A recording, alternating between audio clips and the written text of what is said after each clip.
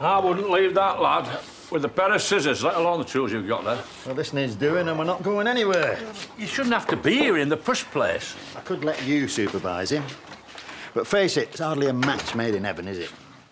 You suggesting Zak doesn't like me? What do you want, Lachlan? Need the drill. There it is. But while you're here, have you got something to say? I'm sorry for the damage I accidentally did to your pigsty. I will do my best to put it right. Really heartfelt, that. Mm. But nice to think you meant it. Tell you what, why don't you have the car? You what? Well, I don't need it, do I? Can't even drive it till I'm 17. Plus, it's got a dent in it, so You think your mum's going to stand for that? well, she gave it to me. Call it a proper apology. What do you think? I think we can do without your charity. Eh? Can we?